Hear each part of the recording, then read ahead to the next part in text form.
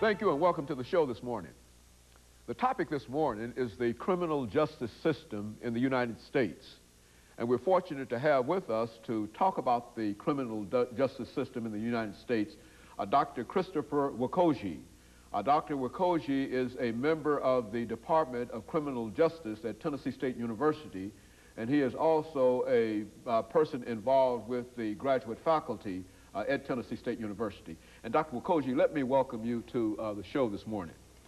Uh, first of all, uh, let me use this uh, opportunity to thank you for inviting me to your show. Very good. Uh, Dr. Nwokoji, you know, I think that we've talked about crime in the United States and criminal, the criminal justice system on other occasions.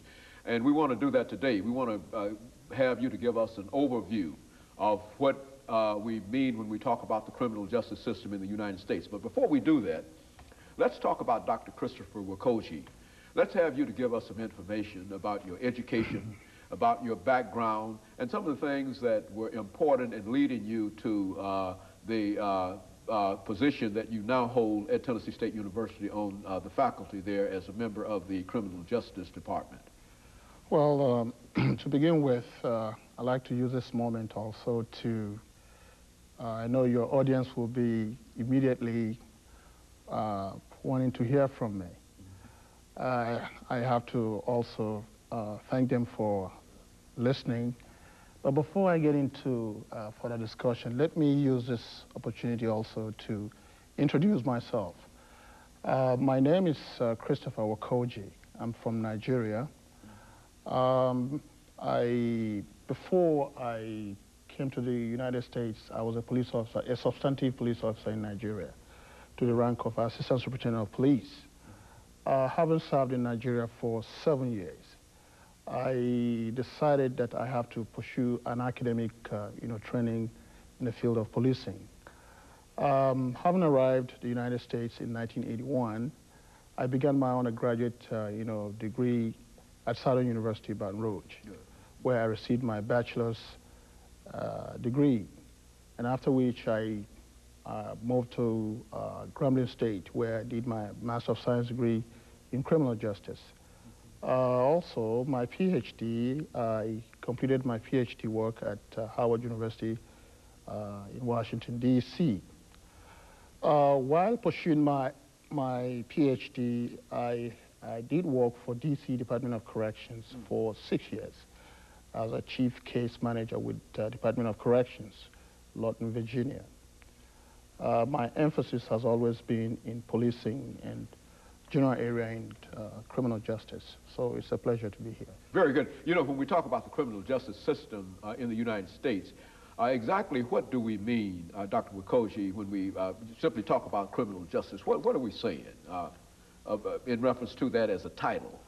Well, when we talk about criminal justice as a system, we are simply talking about the involvement of the private sector here.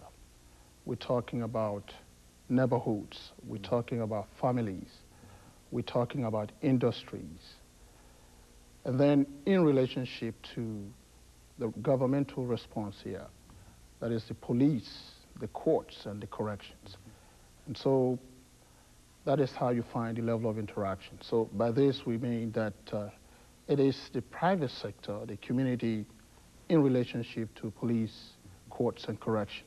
But ultimately what we're talking about here is simply the process by which an accused person enters into the system and the process by which he exits. Mm -hmm. Well, let's, let's look at uh, the beginning of that process uh, by uh, breaking that down and talking about crime uh, in America. Let's uh, uh, have you to give us some in information about crime. And I, I, mean, I know that uh, to say crime, that's a large area, you see, but let's allow you to uh, reduce that and to identify the areas in which you're talking about, because I think that everybody is familiar with the fact that there's an increase in crime, and all of the reports uh, seem to indicate that. But exactly what is the status of crime in America at this particular point? Well, at this particular point, uh, when we're talking about crime, I think every individual in America here is a victim of that. uh, you are one way or the other involved or affected by these social malaise. Mm -hmm. I, I use the word social malaise because it's a social issue here that affects the family, that affects government, that affects the community, and also it's a cross-cultural thing. Uh, you find that in Britain, Africa, um, and other parts of the world. Mm -hmm. But generally speaking, uh, crime in America uh, has increased to an exponential rate. Uh, an exponential in the sense that when you look at the historical development here, uh, uh, quite generally speaking, crime increased exponentially beginning from the 1933. 1933 moved into 1972. During this period, during this historical development, what we saw here is a fast increase in crime. Mm -hmm. But as we pro progress in our discussion, I will explain to you some of those variables that contributed to this exponential increase. Mm -hmm. Well, now, now, what are some, uh, uh, since we are talking about that area, what are some of the things, uh, because I think most of the time that we hear reports about crime, we hear that uh, there's some connection between uh, the drug question and crime.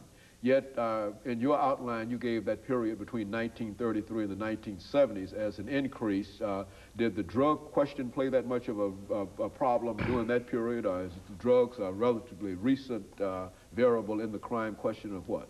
Not at all. It has been a very pervasive uh, issue here in this country.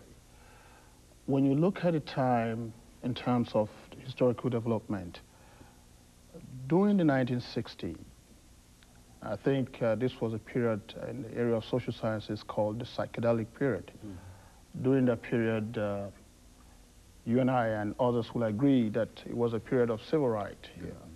A group of individuals questioning for what is right and what is just and what is unjust here. And during that period, a group of individuals uh, engaged themselves in some sort of pharmacological substance as a solace, as a means to counter that experience. But uh, moving, along, moving along from 19, uh, within this period of 1960 mm -hmm. to 1972, we saw an increase.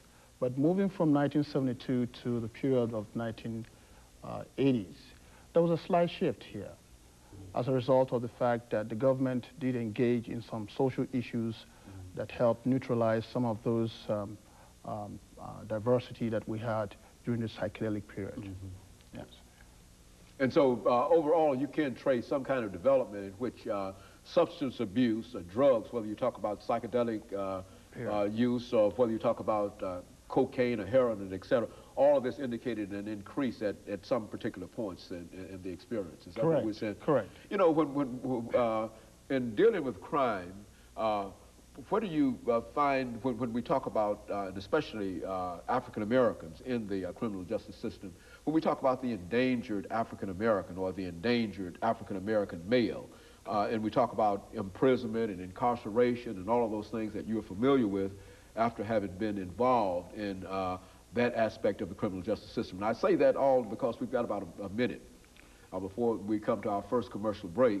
And what I wanted to do was to sort of lay the foundation for you to uh, discuss uh, the criminal justice system because we do understand that, uh, as you indicated earlier, that uh, even during your uh, graduate work, you were deeply involved in the uh, criminal justice policing Correct. aspect of that, and I think that a large number of our, of our listeners would certainly like to know more about that, in addition to knowing something about the prison system and some of the things that uh, you've been involved in. And, and, and we didn't mean to uh, introduce this subject too soon because uh, uh one thing we wanted to do was to make sure that you had, you will have enough information to uh, talk about it.